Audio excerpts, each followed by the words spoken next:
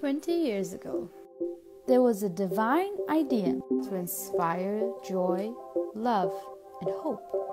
A day for the children of Bottlebrush. A day we like to call Children's Festival. A seed that started with just 650 kids turned to 800, to 1,000, to over 1,500 kids being served every year on this day.